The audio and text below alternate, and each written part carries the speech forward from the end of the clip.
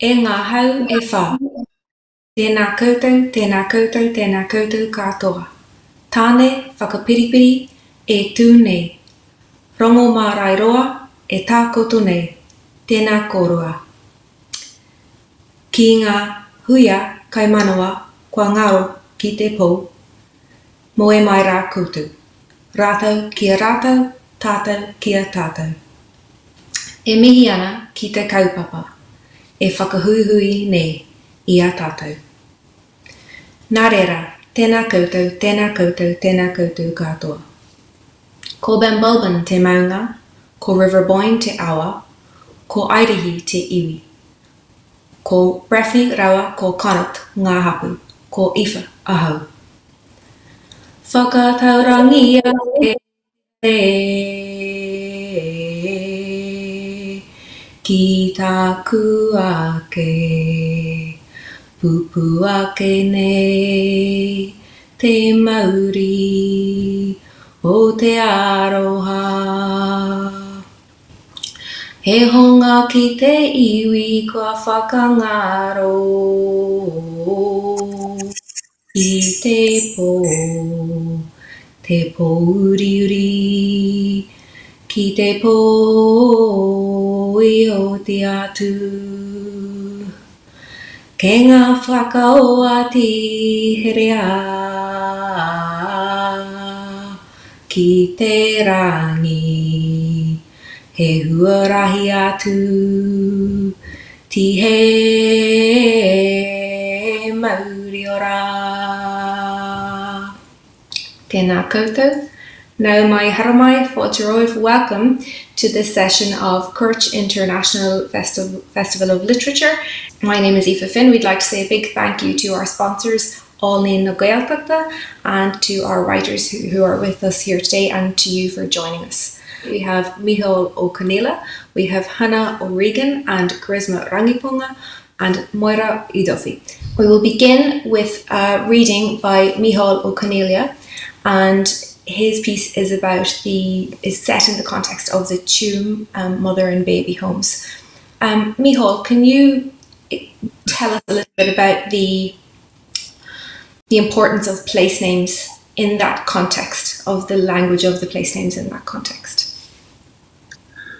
Um, as a writer, I would have to admit that I didn't think too much about place names in general, and this this story um, forced me into another situation where I had to um, think of place names and connect them with the story.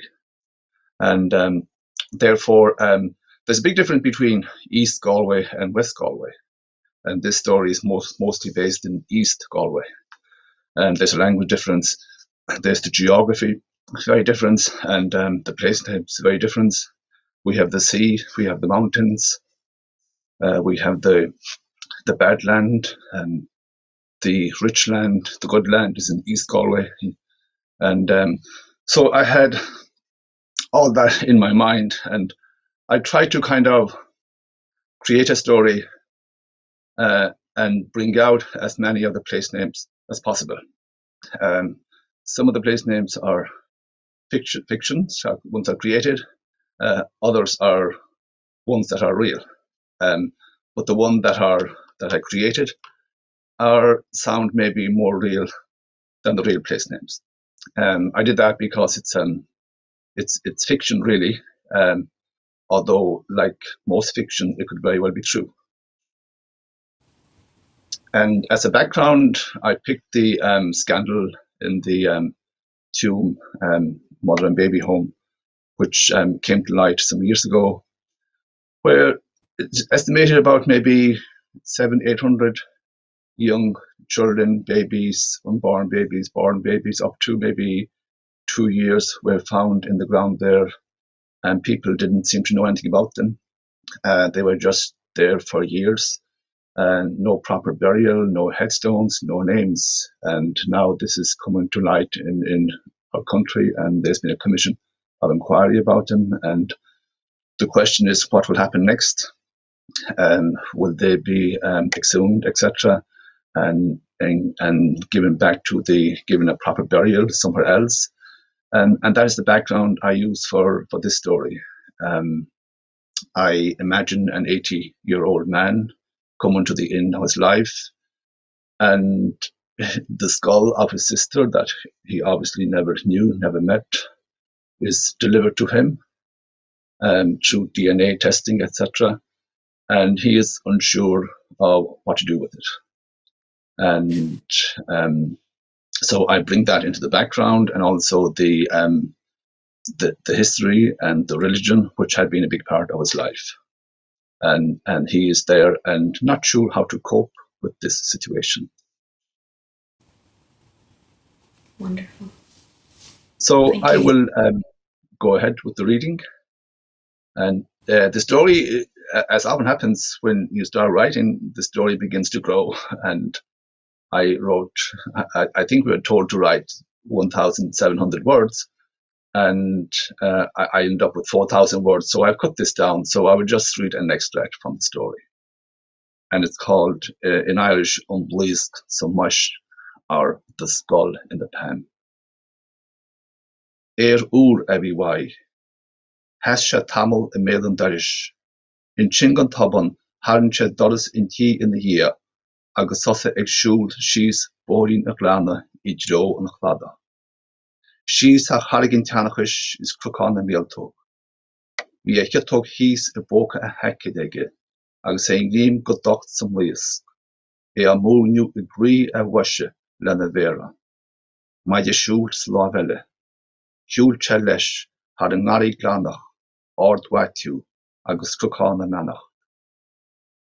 Déag sé hana chláideacha is isteach sna garanta a bhíoch an tíbó. Es muinte ag moiliú i go deacha. Crucána siongán mar míoh sé duna bolach le réin. Garíon chrucáin mar míoh sé sprí sa duna fallach bhí leis chéin is é an rasúr. Garíon tabar mar míoh brín fíorisce le fáil, cuma cinintreamach nó teas i hiúcha. Obair a habhla sé le tiile go na garantaí, an nalainn, an garí ard, garí na gcuireach, an garí dahain, garí na wataí, curadóireacht, spealadóireacht, alles a grábh fácaí sa gré go minicanta ag crachmas oibre. Pian drama is léisteach ar wasa, tálach ina lába, bliana ní bliana, andro an tail, ach ba chuma leis. Lú sé leis har garíon charcis garí na ngáir nu go chreis sé íochtú le hóirín i méal oscail na farige. Déag sé amach ar chala an chrompáí bes a chóir ar i bhhanig go bhór a bhí benach in na chlár. Chu sé bhlainn le carí na gaiileachí dumha is heasan sin.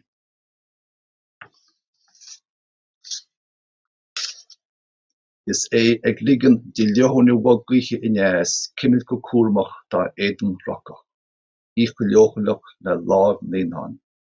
Déag sé séir, déag sé siar. Déag sé sé ríis is amach ar franna geán is é na stailcin sin mar go an luthú imias. Buin sin na banún chléigen donna céta léochs na seanscéalta léchas a chláiseach séir an tealach, ní a an nach scéal ach. Go tabain tháinig collar leis an áit hir, ó nach ré. Heir a bhí an nach ré siúl, einnim nach rá le fáil ar éon wapa. Dúige na bhéidir le teorin ar réú ceart na bharcail. Tá bhannach chunamara bhí teornich i cinnte an, fiú mai bhí daine dám ruúil, sé tíir is a machú a héin. Bhí cinnte a cinint faoin na limistéir, faoin na línse. Heir is muoine sé is seannacha siir a cheannachar ag rutína intin. Spail piníos náre, Colla is séidirnga is droch ide, droch fáí is díhheas, áit na lefíne, tír eile, teanga eile, dram eile. Ser, ser, ser as muoine sé. Heir a bhí béle hannas lua. Is tuim, nó tuam dá ghálainn mar a thugach na sean undúí air. Guaillí géagacha fóra, guaillí flacha feanta. Dá sé an bhuiisce na bhuis. Mór an bhágad a go néir an méidín seo héin. In néir as an bhuire, in néir as an báil salachar báte sin heir, an dabhaidh fuarfhloch dorcha sin an tuisce faoi hála. chu sé streinke héin agus dumpe sier a le lá fósen na fóke ag mahu grian na meidenne er a rim a chole chin. Nach nach ná an nádro dit a dút sé is sé ag stoppe ag log an na leanamh og an kimín a vi idir an bare hir is an bare her. Déch sé fo go smuinte chu a blas hoog en na ploche gobacha vi an náú héin in níoschuige mar a bheit sé fás as an talla. Scarden na crush móre a planbo in a lár don an bliantó hin, le a cuú de le dombó hariche e cahall skade docha siar a hua. E titin a chhlaidjóren an dáhaile, E le her is a le hir. Osá eile an klamperch e gragé go glóra kalach of se chin, hit skuet le a hir. Dúmpa sé ag lé éfach de chuúla chláadach san don dúlinn, suas san haon náirt a thug sé a nó go freis sé cruán na neor. Heas sin sin ag breanhach ar bhaige i ríist san anála giach bhaid. Thg ha cheanna heann seo go rialta é agus é an fotochaí. Bhíh sé fearide ar is é caiint leis héim sé breanhach ar bhaige, mar a bheith sé peidirúir finna anáil fadadach mi aide ed no go dasoch ag siúda riist. No láháin gohaic sé deora ina thuúla sláin fatie said. Deora is súla a cheanaair. Fhí chuimici dé is bhfuilis cholam ciidirisi bheit dút sé ag gahiris páidir a cheanaair. an chuidein chu Amerika i dúse an sin, bu an seo a hagach muid ar er náfach dénach ára. Go cruán na neol, agsú le go bheic muid donhuiir dhéannach iad is idir an alpan mór a chooltíar cuan na gaiileh. mí sé er a raú se le brein tebí an blianten hisin, go méide go hór í a hot siar, í a 8ú, í a hiel. Dí kaint as smerchaint, chutti, Foklen is is le abte richt, iad imimihi le goi samachta se i le. Bhí tachter é híbir an totastó is é dal suas bólí mendisicha. Dior i luga kom ken síle as mine sé a go gortu kuidako na héle. Júse leis har garion rato, har walion se kaus, har krokon an toep, har hanach no makersúl. Bern a gorp a dúse leis héin e baintje a chapéin is sé stoppos kole chosan e sníisteach so geil ó nena. Wie naart imi fi an leis gach agus dusecha. Beg dunne a hiwan nachtra ní buú thóg an bluas gomach sa phóca agus hearcara. Déchaisteach sa mearna achrannach a ríist áidir táach ag fannacht ag fannacht. Aim sin na béint liche as buine sé ní heich sochid an bailach na stoppach ag an stoppa seo. Nu go dag sagat fi brégrocht amach as gail a vís dis an mearna ina mí seháach. Nu go corp is an hónra fi effir ar an meach chun an kiile. Binne mich an is vir eele hin leis er een goelleid sawwaite richt. Ach waar den noos stappen a ver blinte vater kunnne sé. Han ik se heené le hinne oge go se er haping. Dat er fra se rillik waar in lewe het se gingerte is deeg en de jachtting om doele en wie eg bego in nís haar cholie a hele. Ku go klinte kromte mar wedi sé germa hanas. tiille ag fek os a chool, mar we die stafdegel moet dat veilsteach. Ach ní a en ho doige chosteach. Wie kleiche is ganzi rullike chu, is gettig, teorinne chu, mar dacha teach ribe goonding no sin go hasint.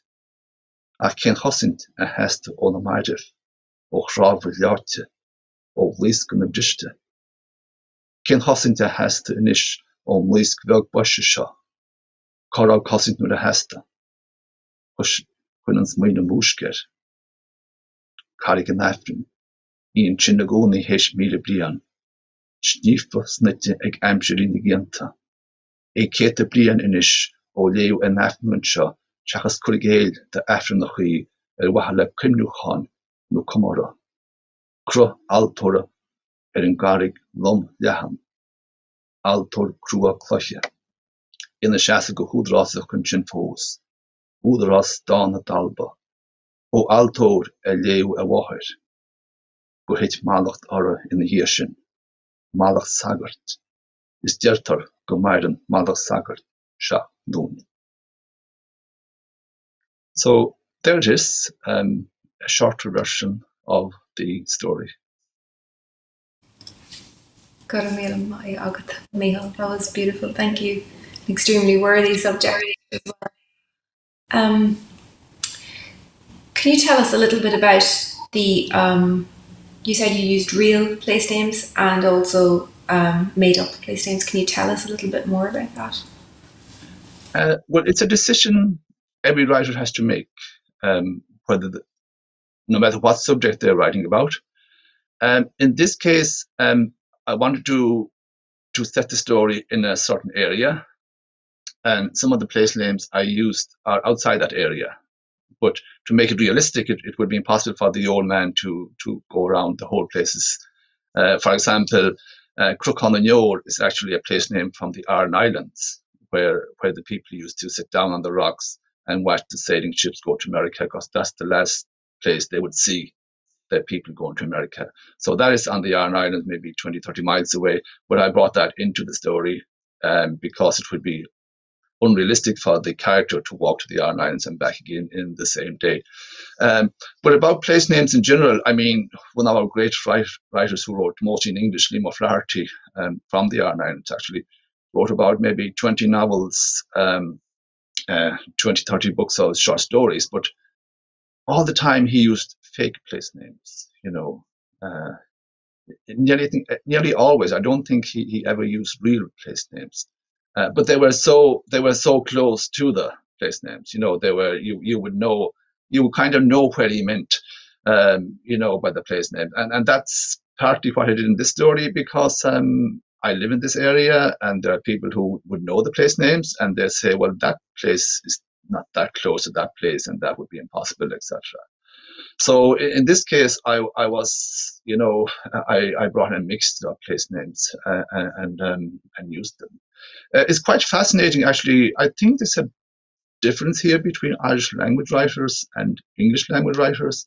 I find a lot of the English poets, they seem to love to include a lot of place names in their English poetry in Ireland. And I have a feeling it's maybe because of the sound of the words. Um, for us in Irish, we know the place name, we know what it means, we don't make any big deal about it. But for those writing in English, it's an anglicized word. Uh, basically, they, they were translated using the same sound in English, so the word means nothing in English, although the sound can be quite nice and nice to listen to on the ear. So maybe that's why lots of the English writers, especially the poets, seem to include a lot of place names in their poetry. Uh, I'm not quite sure. Uh, but as I said, um, as an Irish language writer, I didn't think that much about place name before.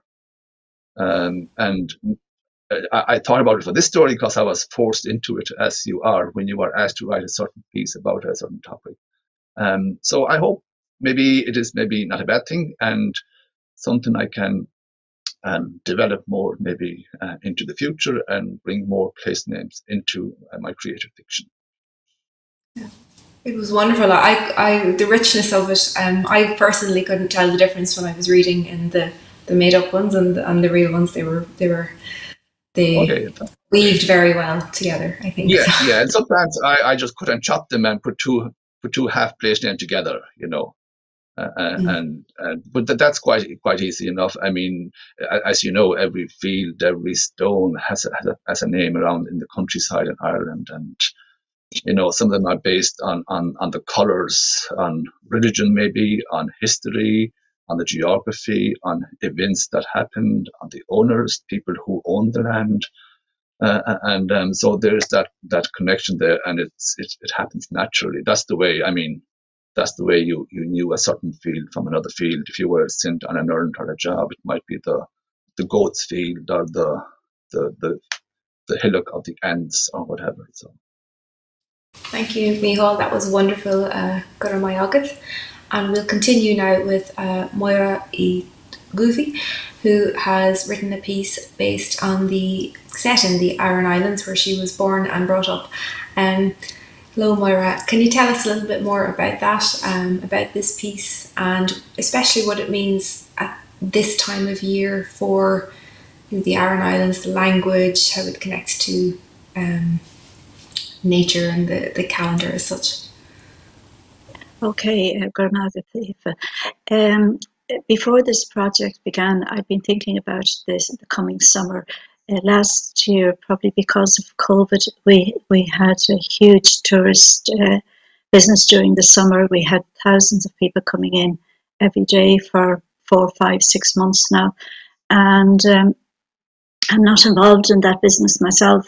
Um, it's fantastic in a way. It keeps people it keeps uh, the population on the islands. There's a livelihood. There's a, there's an earning there for a lot of the young people. A lot of people have set up their own businesses as well, and at the same time, you'd have to wonder uh, how this is going to affect our uh, language, our natural environment, and how we see ourselves.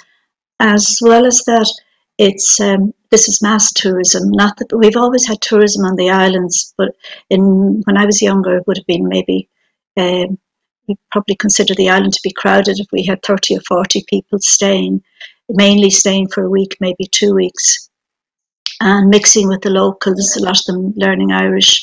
Um, authors, writers, people like that. Um, people from colleges, students, but now we have people, these tourists come in for maybe an hour, maybe two, and they're off again. And it's a totally different uh, way of a different type of tourist, a different type of tourism, and it does. It has to affect us. Um, maybe not at the moment, but for the next generation, uh, young people involved in the business are going to see life in a different way. Uh, when it comes to the place names, um, the our fields are very small. A lot of our land is probably what you call manufactured, in that uh, a lot of our our ancestors 300 years, 400 years ago, they would have inherited uh, very rocky fields, very rocky land, and they actually made the land and manufactured it. But it's not really being used to the same extent anymore. So the place names were, were important, as Micheál mentioned earlier on. They were very important because you needed to know where the cow was, where the where the goats were that particular week, that particular day. Um, you had to bring water uh, in buckets to the, uh, to the cattle as well. Cattle at that time would have been probably a cow and one calf. That'd be about it. So um, that's all changed now. So that's how I linked in with the place names. Um, when I started writing, then the story, which is actually true, um, came to me suddenly that when I was in primary school, our teacher at the time was very interested in our place names. He wasn't from this island; he was from one of the other islands. So uh, he wanted to. Um, he was very interested in our place names, especially uh, because they hadn't been written down at that stage; they hadn't been recorded. Uh, so uh, he um, he had a project. He had us doing a project on place names, and one that baffled him. It turns out to be the place where I ended up building my house. So I kind of built the story around that. All the place names are actual. Um, they are actual place names. More than half of them relate to land um, belonging to my my family, my parents, and the others are different place names around. Uh, things have changed in that we're very lucky in that there was a huge project uh, 21 years ago now, 20 years ago, uh, where all the place names, all the island place names were recorded and mapped. And that was really important because uh, as the generations go, as the years pass, all these uh, people are going to forget because if you're not using place names, if you're not using the words, are going to be forgotten.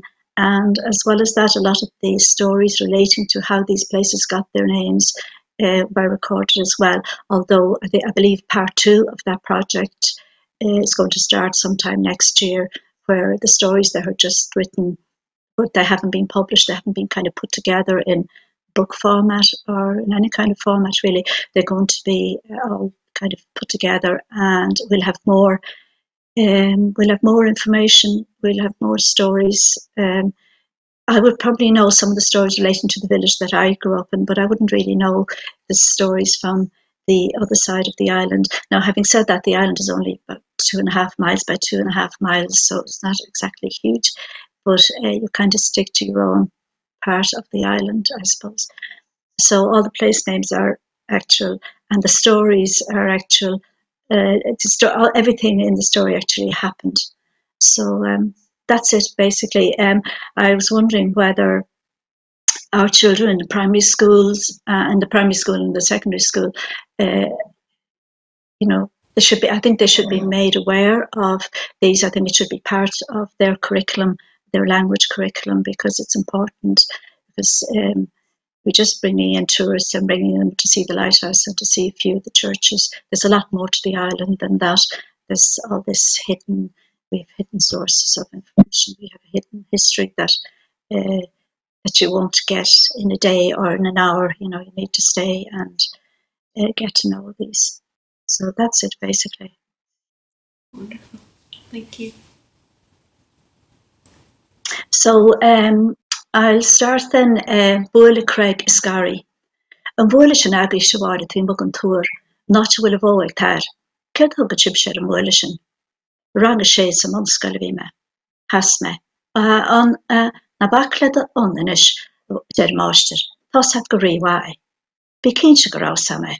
Na ra tróna fad a kat an an a kurtonedrachi is gan havar ach kas skripi ag skote skirtan a cha gaflin déeg belet geslikich a talhu na master we go de hesto skore range geharis ganach ní smóna tá no neerwai. De kaint log einnim nach chi vi master an lá áidse Holbe to geilgegs vol met to staarde weintje wobedoertje. Chanisví se fannach le mar agurse, é le ompi óláir do ag sa chail creití nach lekeige. Creig of creig a derm se gostadach. Aber richte hí creig ar a gláir do in siige. Gosále ran rud contrarátja, Bhí chachen al freigra an an cean ceart ag san cean contrate nó binehí ebrí má hamsa. Creig ih creig e hí a rasa siomra a chuna súl réim agus cheap me ra meske tilti hirhim. Brennware er sem naister as het toer stracholer na sechan bejeigchte hirhim, ní saodan na sketiele vi me. Nar galste weile fé to betair kent hennim hugen tsermoile no an chresin, agus skrifet er sise. Is kom is fin letru a cha skrif dierach mar jere sé. Tegen tu? Tegen, ma gaan. Ní thug sé éon achrám na cleachtaí bailíanana, cénar me cínte churbe faoin dalch mór sa le réhríachta a bhí le líana leis neidir te goáú nisce, a chear na freigrach in na cinnte mágin. Bhí me an ar a doras nar chuoine méir. Lá ganim nach chu i d dear a bhar ag sé chur séim sa focail nó se Na chatal fanna go go tair bhile.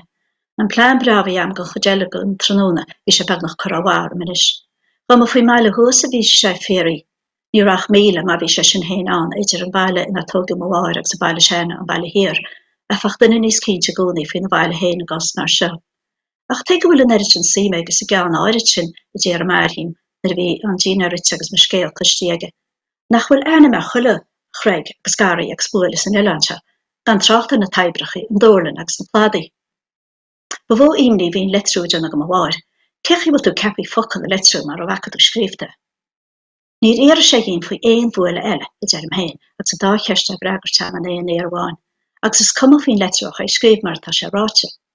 Badal am gáinach céir a hitteach sa le lelenne nar a bailachréchnia. E léidir go scéal dús ma bháir, máiste sskelle rá a cum fin letrú Er échi er éis kutba kainte agus be gan séintes kreig a brek vi skrifta, agus be sin go fa soanselmse. Bunne blianta hart, wie men is tak i reiske hinne sér, er hééis jobbe an a mna samanska ra me héine a sskolar antra. Bujakur ga éine a héle a lachtta eiler a sif er hall a winre ra runna tsecha ho gal an. Gaine kes mu go einan ag skeifiki na kole kondé beléir. Tá sif sin roveag doúlam san effikach rot na raach me taki seach geile vád na maidine ag slás séir toki an an skellim chostas héin. Ach vi chille le roiige ver, vi en nos kommelum finrod sit go compórteach i hiá inach verspes. Agus té mu sinna luk tá se róá go dag séircha sta gal se teach se seo. Leag sé véir ar map agus á seach hísfuin bunne game, hit se drún agus rálarm. Er sé bailin ar léir éon réiteach ver scéal. Bhí tí tóí hena héine chudeala an teilech ar réon fi a talún i bhí cumrach an bháil agus gon na seirbhí si fad a hestoch. Ní rair a chanéad le éirecht si a cheannach nach chuine na cuasan. Chicken tú héinach bhfuil se dúirte go leis gannach Cosáid bra mar a chreige champa na brenn machar a máid, Bhil hens go méid seogan na cinnte héin lá fadan a bear. Bhí cecanóir cúpla buúla jaarsin a bhaintú mai na craga, an chud sin gonile nachhfuil éon chuúnaíán. vi kan er trian gus kan na choen. Vi kan er tief hiergen landse gro bui de brenn séer son salig puit moet heinig sinn smean.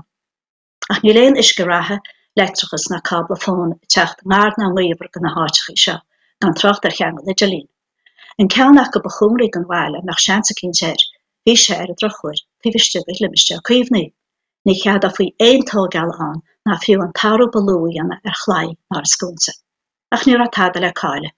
Scríbú letrachaí bhí géimpi agus a gagart, seolú teiste méachtaí a thug ádhla, hí cos san dearagdunta go dtí efik na chola conda, tu go polúr nó há ar bard, tá sam ach skatú an na túra de be, agus sé déir hir hall hí lam. Tuiste go blian bhí mar haach tó cé se go brec. Bhí rún am a gcónaí anim na creige úsáid mar anim tí ach creig go brec is in isise hiicme tugur an ar a síine go máistir san anim áiri sin. Céchaí a mairich brocanseo dús mar. Ní ras san náit a bud a heach sa tócíis nar fu bisiltal ach clocha agus lecha. nó go chlúda me é gur éidir chéile le fód agus ílach ferman agus scaile na trá agus tí nar bhe muid cean an seanteach ceall taidin tú scap muid am teir. Tá me rálet nar a éon broch san áteíomh, ní atá é sé tú lei sin. Tá brí eile ar nó leis a bakil broch, salach, is minnig intín legain chuún an cinál úsáide a bhaintí as a talas námach le hart, púí na nún, bule na meile, garí na nóil. Ra anna dráhile trá tíh mag an bhile hir san natuil ma heach sa tócíis, má bhí níl se goine na léine níos mú. Mór chuid clochas gáil chuid cré ag dúirt sé filleadh mar sin á deireadh faoina hoileánte aithne. Bhí an-ro a baint le foghlach ar ar shealas thuairidh mara. Cén déantas mar sin ainm baiste nó slíne an té a chuaigh man na scábhaíochta bheith ó cuir an áit, Tá buaile éimenain, Craig Stack, Craig Wallace, Gurtpaí Rogan agus go leir eile. Thirlaigh sé freisin go dúcht písabeh talún le nóáid go chréú roihéir isteach gus go bhanacha anim ar an áte na dhéir.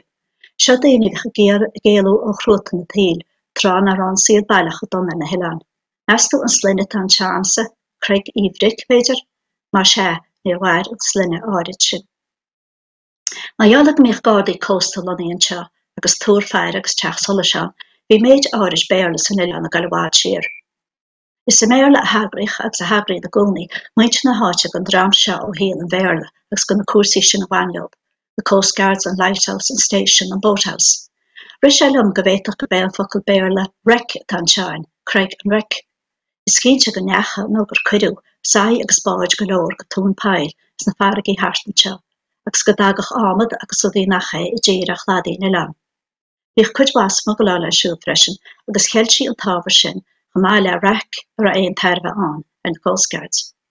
Er sa seoha gan na hennim nach chi garí na bakí agus pal tabak. Ach mat tar scéal an a bhhain go déirech leis an náte amsa ní me fósa. Ní móide gan áir le allach kimpel nó sa tal hennim na háte bhfuil coní armán. A chu a leid tá lo einnim nach chi vanile chláí inis as chudwa gan na scéalta a bhain le bailí. A chhfuil ein táhat lob an chéad glónelle, drama mei ceirní acu nach 9 chu séintir. Kredim se go bhfuil.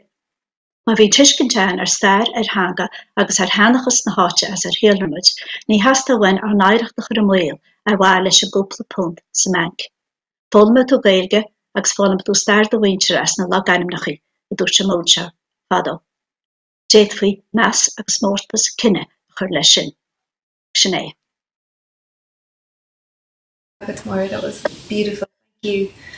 Um, I guess what, what really struck me about that was where you said that you know from the place names you can learn the language you can learn Irish you can learn your family history um, and especially in relation to what you said earlier about say tourists who come in for a brief time and miss that or children who aren't taught that in school so it's quite the opposition and it you know what the language and what place names offer us. Um, could you speak a bit more about that, about the connection to family history, the language, the community, the pride that we can find in this? Okay, well, I suppose the um, the fields here are so small. There's they're actually tiny and they're subdivided. So my my family we could have two fields here where my house is now, and then the next field is maybe uh, 300 400 yards out the road um, they um, when the tourists come in, they just look at the fields. They just say, "Oh, look, you know, the, you've very little grass here," and they're given a sort of sound bite as to how the land was developed, how the land was made. Um, in our on our island community now, we have um, we'd have children in the primary school and in the secondary school who whose people are not from here, or they might have a, parent from the mainland and parent from the island, but they're not um, landowners can use the word owner when there's so little land, but they, they, they're not involved in this business or indeed in the fishing business because we also have place names relating to all of the, the seashore. Um, so I think uh, I think it's very important because uh, there's a story, especially if you teach children the stories, and some of the stories are actually very funny. Uh, some of the stories are uh, sort of sound a bit like Finn McCool.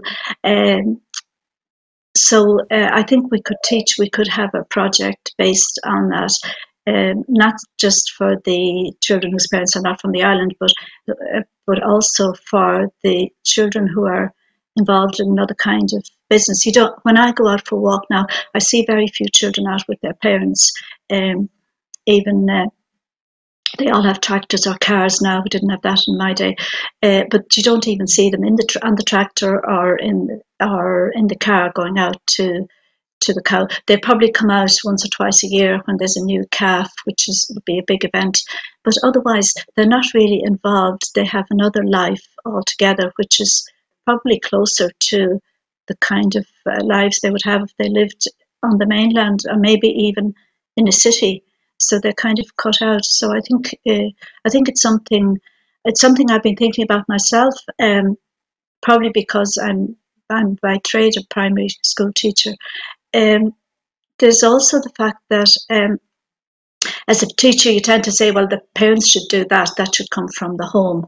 But in this case, only about half of the parents would be, you know, would be able to do that because they don't have the island background uh, themselves. So I think yes, the some of the words, our language, the the the, you were speaking earlier about the dialects and three major dialects, but we also have these dialects that are kind of mixed. Um, my Irish would be slightly different to Micheál's. It was interesting listening to Mihal there reading uh, naturally uh, earlier on. Our pronunciations would be slightly different. We'd have some different phrases, words and phrases. And our island is very close to the, we're in County Galway, three Aran Islands and County Galway, but Inisheer it's only six miles from uh, the Clare coast. So our Irish was influenced by the Munster dialect. Uh, so our Irish will be slightly different.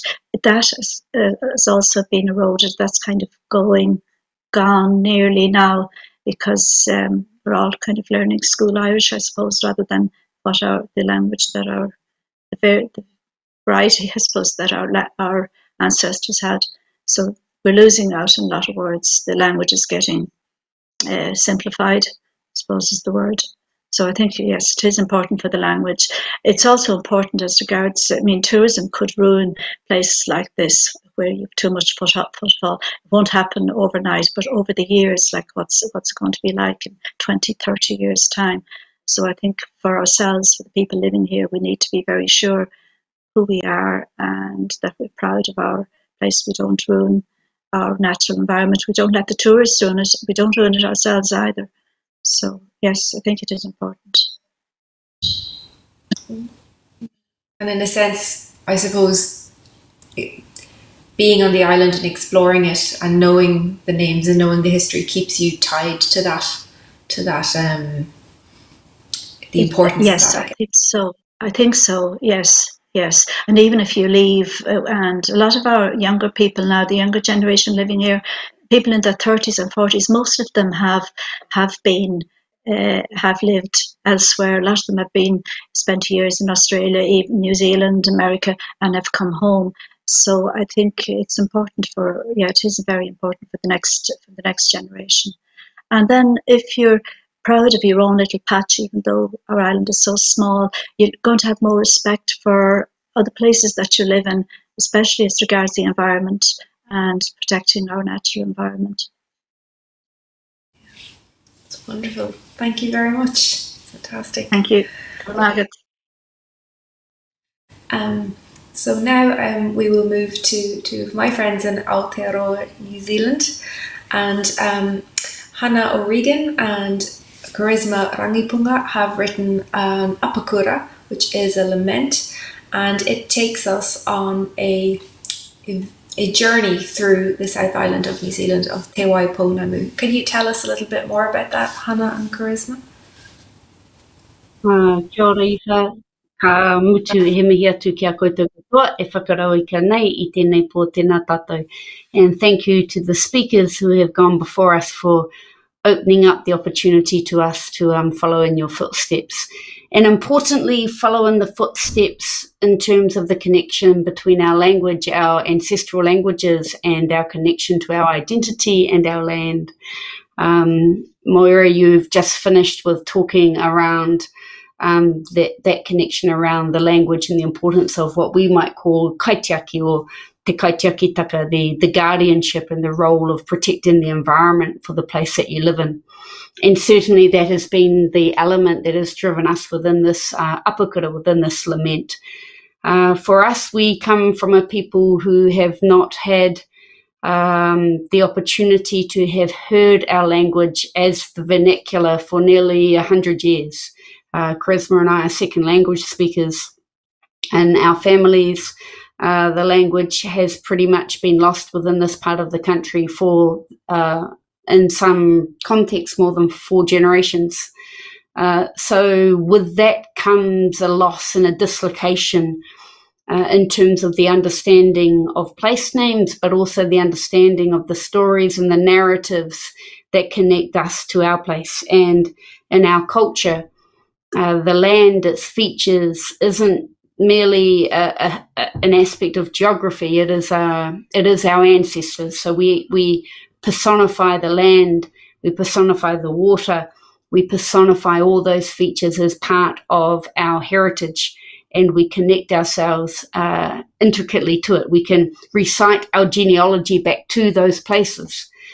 Uh, and so when you've been dislocated from that and you don't have the ability to give voice to that narrative, to give voice to that story, there's a huge sense of loss, uh, not only in being able to articulate your own connection to it, but also be able to celebrate uh, and recognize the things that are happening to those places themselves. So our apakura, our lament, is a recognition that with that dislocation with the uh, col- act of colonization and the the act of taking our people away from the roles of protecting our land and being connected to it, uh, that a lot has started to happening, a lot of uh, negative things in terms of the environmental impact uh, has started to um, really be come to the fore, and there are places that we now uh, especially if we think 50 years ahead, uh, there are places that we can see are going to be severely impacted by those envir- environmental um, uh, environmental changes. Uh, and we don't have the language to give to the land, but we also don't have the language for ourselves to to partake in that lament. So this is what we've tried to do: follow a traditional style of composition, uh, where we create and compose a chant uh, that not only takes us through that journey, uh, but also tells the story, the narrative of what is happening uh, to the places, to that connection, and uh, recognize the pain that goes with that language loss and uh, the the loss of that identity as well. Mm. Uh, hoi anō, tēnei te mihi atu kia koutou, i whae mihi ana kia koe manaki ana i tēnei kaupapa. Uh, hoi anō kia koutou ngā mana o Airani, uh, nei rā te mihi kia koutou. Uh, just to follow on uh, from Hannah's uh, explanation, uh, really for us, uh, there's uh, a, a lost knowledge uh, of uh, in humanity itself and that is uh, the interdependency of uh, the well-being of uh, of people, of humanity, uh, and that of our natural environment.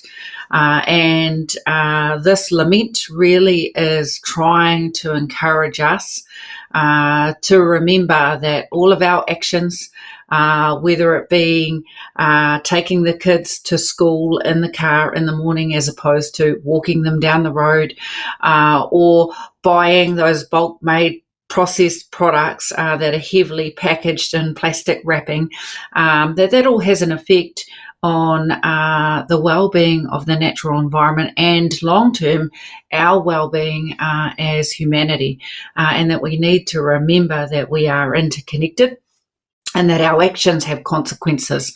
Uh, and certainly, traditionally uh, in our culture, uh, that was uh, the reverence and the respect that our ancestors uh, had for the natural environment that we've forgotten uh, as time has moved on. So, really, it's a call for us and for our young ones to remember um, that relationship and the interconnectedness that we have with the natural environment.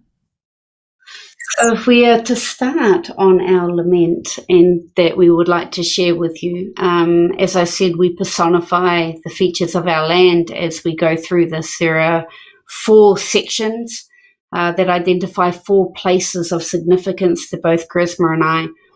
And as we journey, we generally start from a place like a map, like a like a journey. We start from one place and we go in sequence uh, around uh, around our tribal territory uh, that brings us to those places of significance. We talk in the lament to the places themselves. And so we don't refer to them as a third person, but our dialogue is actually directly with them. Uh, and the first place that we start with, the, the two places within my um, within my heritage that we decided to uh, centre on starts right at the bottom of the South Island, uh, where my marae or my tribal villages, uh, almost sub Antarctic, we're like right down the bottom there.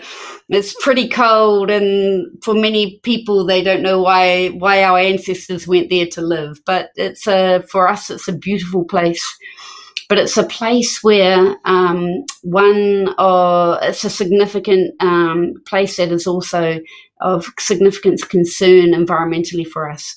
It's a place called Tiwai, and at the moment, Tiwai is also the aluminium smelter. It's a place where the, the biggest factory in New Zealand uh, currently resides of the aluminium smelter that has for a long time now brought in a significant income into New Zealand. But the environmental degradation that has happened because of that smelter uh, and even though many of our people have had work within it, um, the environmental degradation is is, is huge. Um, the company that's actually Australian owned, and we're not having any remarks on our um, Australian neighbours, but the Australian owners of that smelter have decided that they will no longer continue and they're about to leave. But what they're leaving are pools of toxic, toxic waste that our people in our community and our villages are left to um, hold. And we, there hasn't been, there's only now, just recently, been the acknowledgement that this level of toxic waste is going to be left behind. So, as a people, what we're doing is we're looking into the future and we are saying, well, um, we are now aware that there are all this all of this toxicity that we have left and we are asking for forgiveness to the land that has been our protector and our barrier uh, in terms of its physical feature for our people for a long time. From there, we go to Aoraki. From there, we go to Aoraki. So, Aoraki for us here in the South Island uh, is our principal mountain. Uh, he is it. Uh, there is no mountain that compares to him. He just also happens to be the tallest mountain here in New Zealand. So we hold him in high regard. Uh, and um, the Apakura first starts to talk about that regard and that respect that we have for Aoraki, for him, um, and the place that traditionally he is held uh, for our iwi here in the South Island. Um, the second verse of uh, uh about Aoraki actually talks about the predicted impacts of climate change on Aoraki. So uh, he's pretty tall uh, and he has always uh, got snow covering. Uh, and what we know um, from climate scientists is that uh, it is likely that within the next hundred years, uh, that his snow cap will actually disappear completely for months at a time. Uh, now that has significant impact uh, on us as a nation, but also on us as a people. For Māoridom, uh, the head and the dressing of the head um, it speaks to your chiefliness, it speaks to your mana, to your mantle. Uh, and for him to lose that uh, because of the actions of humanity, of us, uh, it, it's very sad. So it's us talking to that mountain about the anticipated impacts that he is going to feel and that he's going to see um, due to our actions and, and apologizing to him um, because uh, of that. And our tribal mountain, from the base of our tribal mountain, flows the river Waitaki, and that is our tribal river. And that river flows to the coast, which marks the area which another one of my villages um, resides, and that is uh, uh, the village of Moeraki. One of the urupa or the cemeteries, and, and again to Micheál and the, the connection to those that are buried in the land and the stories and the narratives that are often untold. That draws me to that place. Uh, the name of the place is Tikoraki. So it's a, this little cemetery that is up on the hill, it's up on a cliff. A beautiful outlook. If you're going to be buried in a place, it's a beautiful place to be buried and it looks out into the sea. But what we are finding in this ancient cemetery of ours uh, is that with again climate change, with the sea level rising, the impact on the on that cliff is that it is eroding into the sea. And as it erodes into the sea, so too the bones of our ancestors fall. And the, the sacred resting sites, which are meant to be the place where you rest forever in peace, are literally being unearthed and falling down and being captured by the our god of the sea and taken into places and, and spread in, in all directions. My um, ancestress is buried in that place. My children's, um, my daughter's placenta is buried in that cemetery. And so, with this connection, this really strong connection to place, we ask the question where will we go to actually recognize the, the history, that, that, that narrative of the past and our connection to place? Where will we go to cry and, and celebrate the journeys and the achievements of people in times to come if the reality is that those are falling into the sea and eroding with time and the importance of retaining the memories of old and the legacies of old as we look to sharing those stories with the future generations. Mm. From the coast uh, of Moeraki, we travel north uh, to my part of the neighbourhood, to my part of the island, uh, and to our lake. And our lake is called Wairewa. Um, and uh, it's very significant in Māoridom uh, that uh, when you have guests, that you're able to feed your guests. Uh, it is a sign of wealth that uh, you can welcome guests into your homes uh, and that you are able to lay in front of them delicacies from your region and that they leave with full stomachs.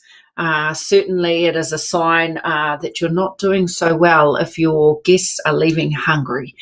Uh, the lake uh, in my region is famous for uh, a particular delicacy, which is eels. Uh, tuna, they're known to us.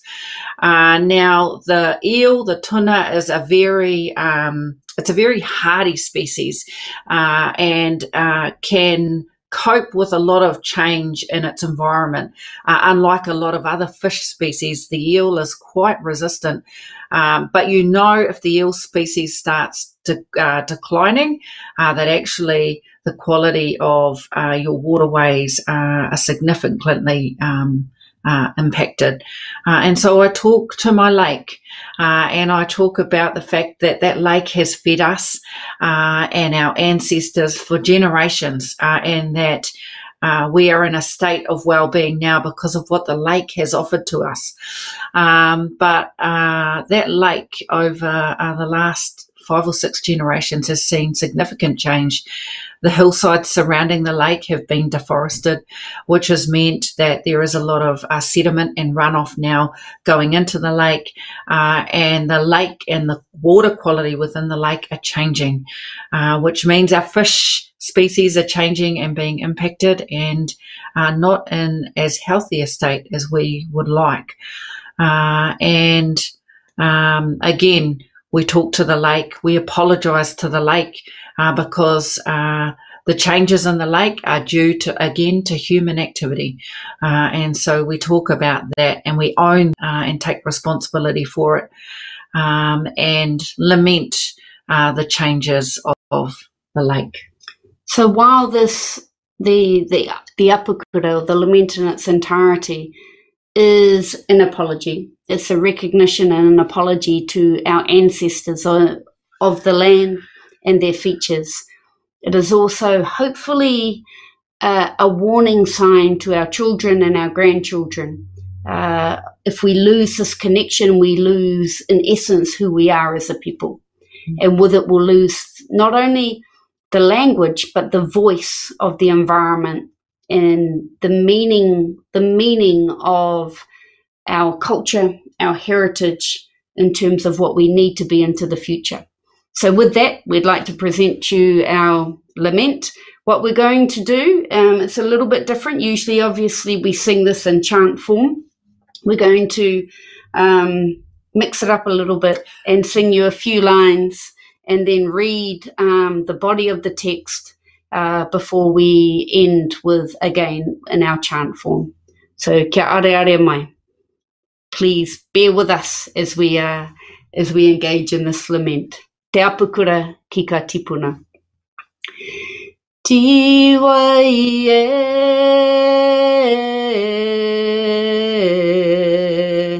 e taku tau arai e mai a rawa nei te tiro haka hei kai mo te whatu mo te tini o tahu. Me he ori ori tō rite ki te manawa. Te rā te wā he auahi he auora taku ahi, e kāroa. E e e au e ana te waha o awarua. Ko ka kāwau e tū kaunoa, kei hea rā aku tau rakea. Ka papi mai tēro, ka kiko kore taku kāeka.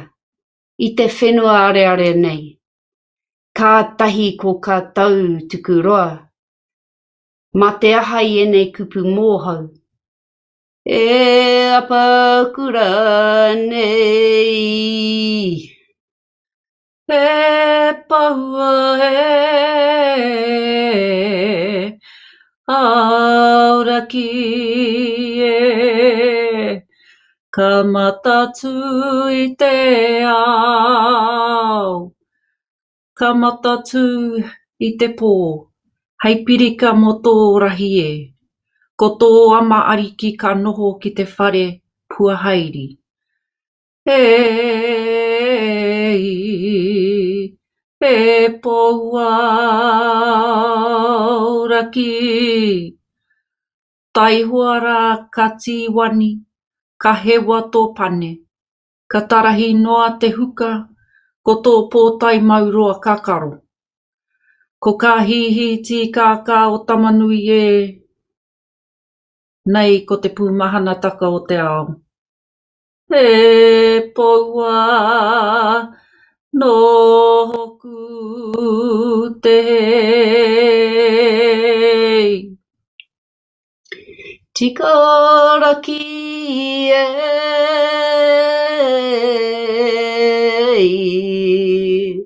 takuru rupa ariki ha e kaua roi mata Nā haurā a mamai i mamahu, no ka mata o rau takata.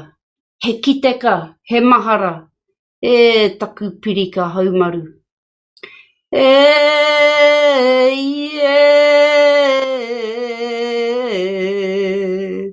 horo ana ka koiwi o akuri.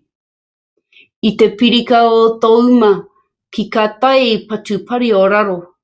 Ko ka riteka o mua ko tukuna, i ka moe ka mauroa ko karo. O waiata ka rakona i ka karu, ko wawā ki ka au o auanoa, taihoa a mahara ka rerehu. Akuri kore mairoai. He taku punara waire wae. I kere a mai koe. E tū whakaroria e. Ko te karamata o tō wai i tā wiriwiri te ika nui. Hei kai mā te mano mano e.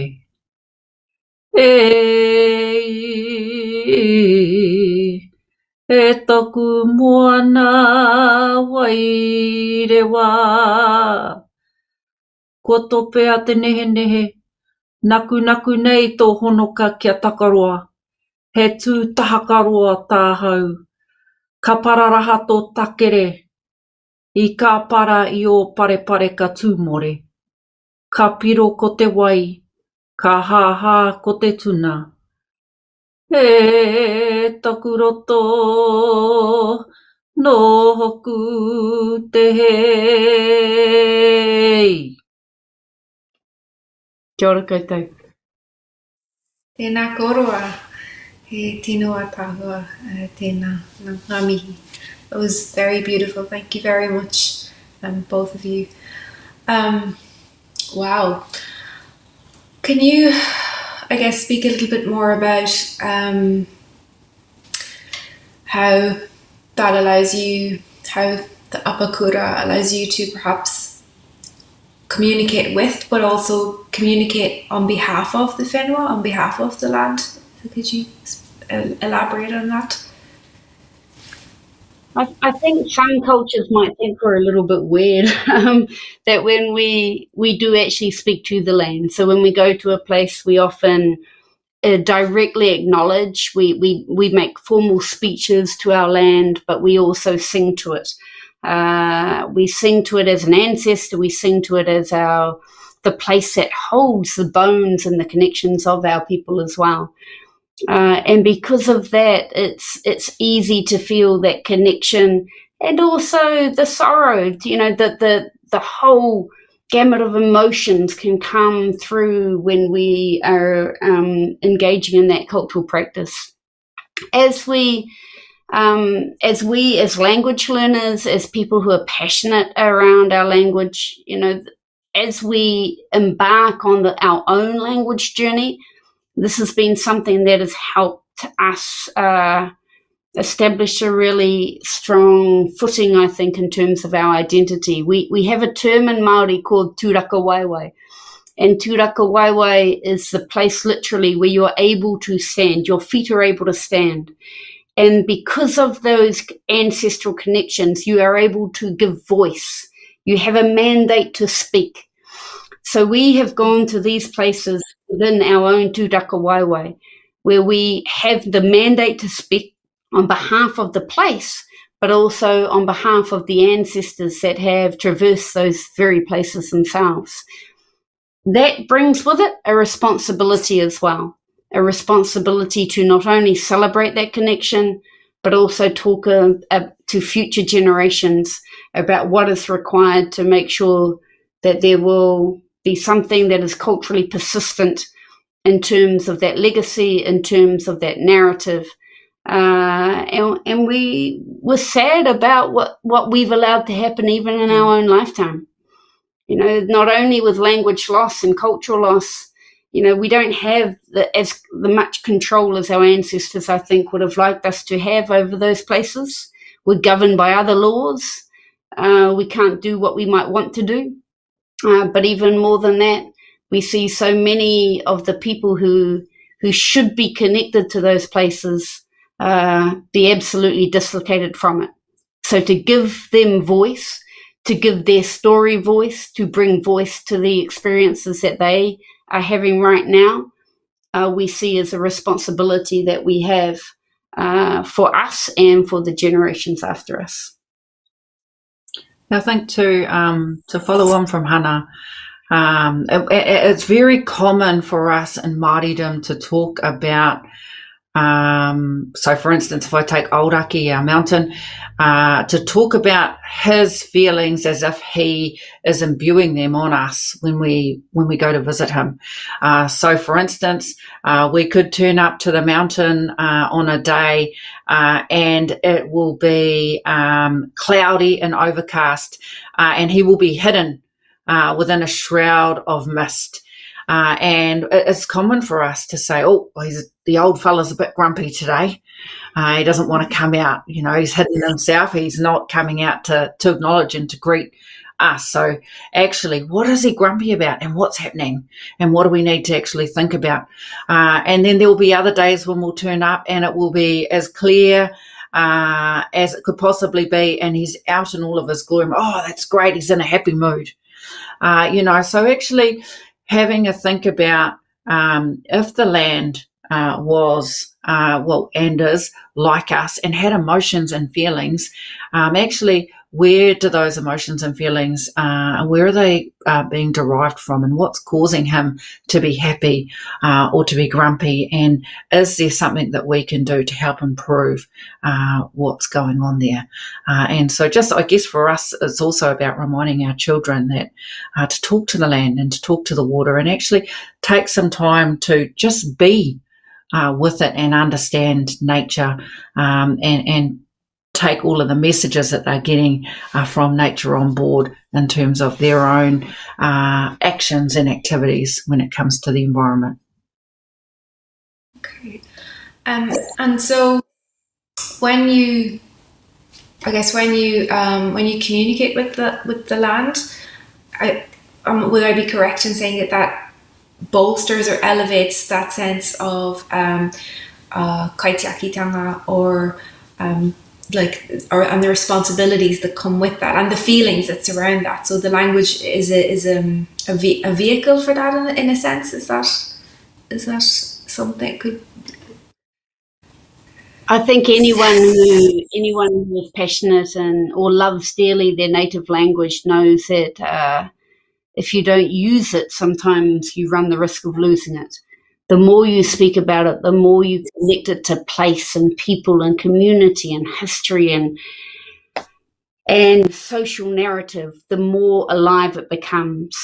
Uh, we, for a long time within our people, if we, we, we're acutely aware of the void that is created with language loss, where the the walls of your houses don't hear your people sing where they don't hear the histories and the debates or even the arguments of families between each other, uh, where your tribal houses no longer are familiar, become they're no longer familiar with their with the stories of creation or the stories of the the legends of your people.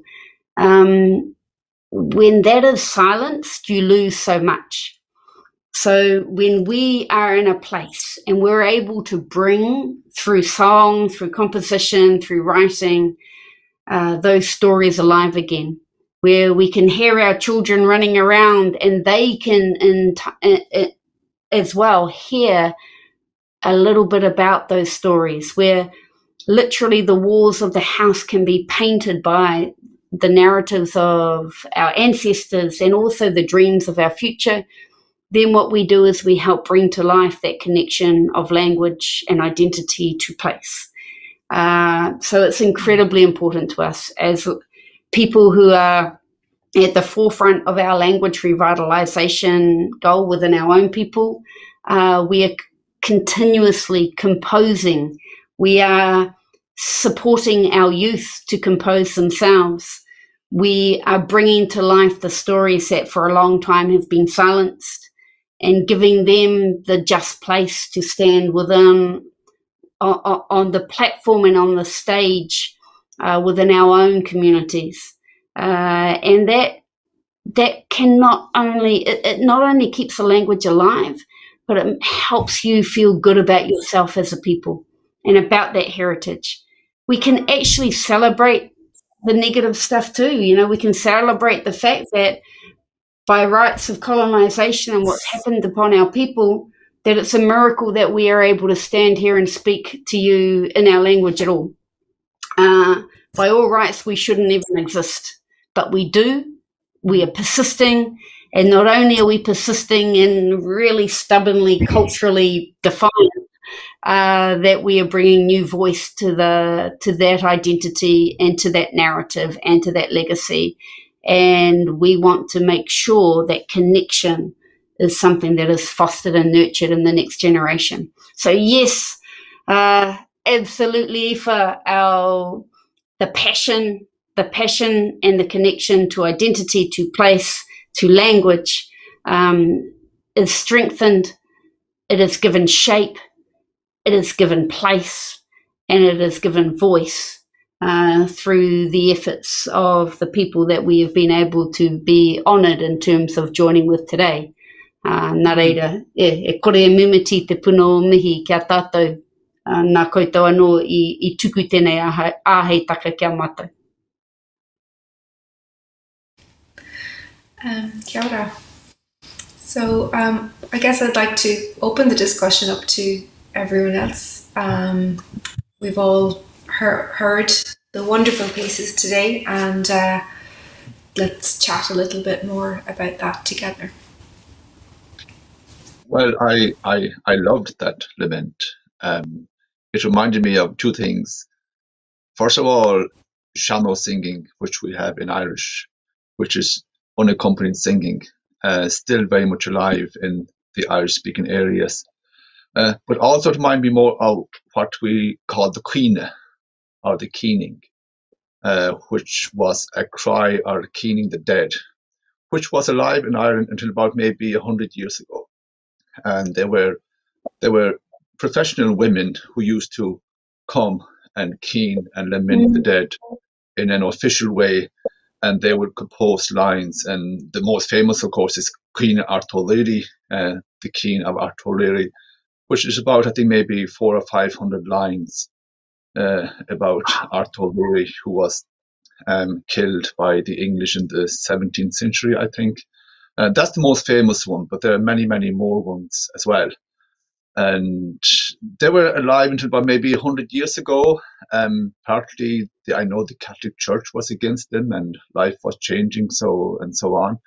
Um, but some of them, you know, we know we know the words. We have rec- we have made recordings of what they would have sounded like over over the years.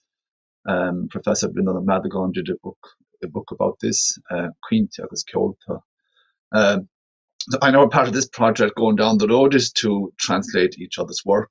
So I'm really um, excited about translating your work into Irish and getting uh, one of the good sean-nós singers, and we have many of them, the folk singers who sing in Irish, and and, and even they sound kind of similar. The, the way you sing it sounds kind of similar to our sean-nós singing, uh, which is, as I say, very much alive in, in the Irish language. Um, so I, am looking forward to being involved in that part of the project in the next few months and, and see if we can if we can um, find a home, a comfortable home for it in the Irish language also, which I think we will which we will do. Kia ora. We have um, uh, I'm interested when you talk about the keening because we uh, we have something similar where we farewell the dead, but the they're not prescribed, they're not recited lines. Mm.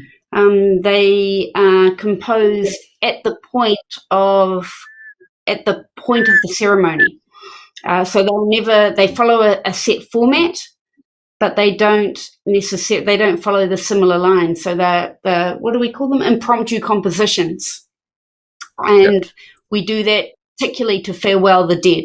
So on the death of somebody, it sounds quite different from what we were doing, but I think it is similar to the keening that you talk about, uh, where we uh, engage in an actual dialogue between two people.